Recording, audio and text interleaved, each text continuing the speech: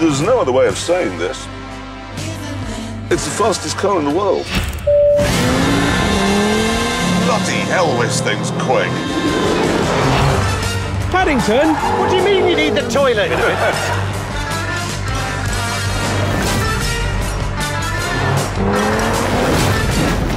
He's binned it.